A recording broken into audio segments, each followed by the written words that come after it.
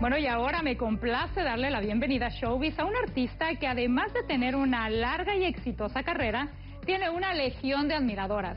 Más de medio millón de discos vendidos y más de mil conciertos lo avalan y hoy nos viene a presentar su más reciente material, Dos Orillas, del cual ya se desprenden sencillos que van camino al éxito. Hablamos de Antonio Orozco, quien se encuentra en vivo desde la Ciudad de México. Bienvenido Antonio, antes que nada cuéntanos qué estás haciendo en la Ciudad de México. Pues estamos aquí promocionando y el eh, siguiendo el lanzamiento de este disco que se llama Dos Orillas, que viene de España de conseguir un éxito importantísimo y que nos trae muy muy buenas cosas ya de este lado, aquí en, México y en, y en Latinoamérica. Tengo entendido que el 7 de noviembre te vas a presentar en el Plaza Condesa y que esa es otra de las razones que te tienen precisamente en la Ciudad de México. Sí, la verdad es que por fin llega una oportunidad, un escenario importantísimo para nosotros después de haber pasado por escenarios más chiquititos y ahora llegamos al Plaza Condesa este 7 de noviembre y nada, decirles a todos los mexicanos que, es para nosotros un honor poder estar aquí en ese escenario y que, no se lo pierdan, ¿no? que va a ser una noche inolvidable, con muchos invitados. ¿Qué sientes, ¿Qué sientes Antonio? Pues de que tu disco es un éxito en España, pero que ahora estás viendo los frutos también en América, en específico en México. La verdad es una sensación, es muy emocionante porque hemos trabajado, he trabajado muy duro en los últimos cuatro años por todos los países latinoamericanos y bueno, ya hoy podemos hablar de, de cosas muy importantes, de tener una canción en una novela al aire, de que esas canciones empiezan a estar arriba en las listas de radio, de que el día 30 y el día 1, el día 30 de este mes de octubre y el día 1 de noviembre vamos a estar en San Juan de Puerto Rico y en Ponce, y el día 7 de noviembre estamos aquí en México, en el Plaza Condesa. Todo eso, son, si me lo hubiesen explicado hace un tiempo, la verdad es que quizá son cosas que uno no termina de creerse, ¿no? Claro, no, no, y tener un tema en una telenovela ya es como ir al siguiente nivel, ¿o no?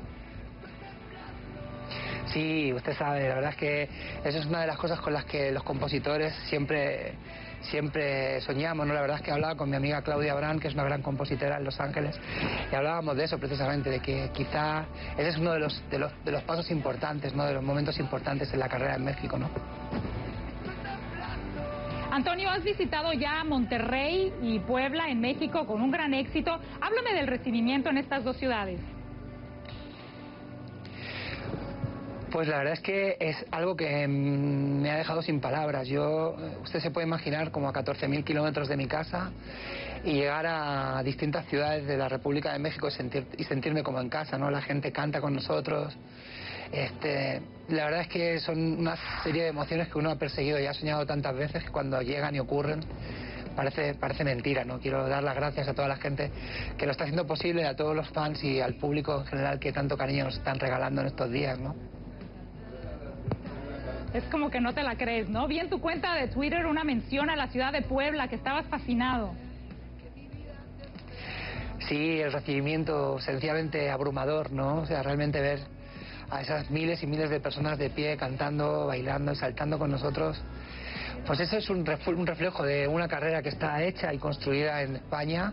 Hay mucho por hacer, pero una carrera construida y llegar a México y empezar desde cero hace cuatro años y hoy sentir que estamos dando pasos de gigante, pasos muy importantes que hacen, nos hace sentir parte de algo importante, el público nos hace sentir parte de algo importante. Definitivamente, y hablando precisamente de Twitter y del público, sobre todo tus fanáticos, tienes casi medio millón de seguidores. ¿Cómo manejas tu cuenta? ¿Lo haces personalmente? ¿Eres activo en las redes sociales? Así es, la verdad es que en, este momento en el que vivimos, la verdad es que las redes sociales son probablemente el mejor termómetro, ¿no? la mejor forma de saber lo que está ocurriendo en cada instante, en cada punto del mundo, ¿no? sobre todo cuando se contemplan lanzamientos internacionales como es este caso de Dos Orillas. ¿no? Específicamente este disco, Dos Orillas, ¿por qué lo, por qué lo, lo titulaste así? Bueno, la verdad es que los últimos cuatro años eh, literalmente he estado viviendo, se podría decir, ¿no? Entre comillas, casi en un avión, ¿no? Eh, pasando de una orilla al otro del Atlántico y así ha sido escrito este disco, así ha sido pensado, soñado y hoy pues eh, lo que en un principio era pues eso, una, un sueño hoy es una realidad canciones sonando a, los dos lados del Atlántico y son esas dos orillas que nos dejan hoy este mar de música, ¿no? En este álbum que, que tantas cosas buenas nos está dando por tantos, tantos lugares, ¿no?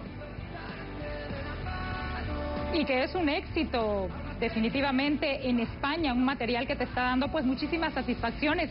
Además, eh, haces duetos en este, en este nuevo material con grandes de la canción como pues David Bisbal y Coti. Cuéntame de esos duetos y de cuáles otros has hecho.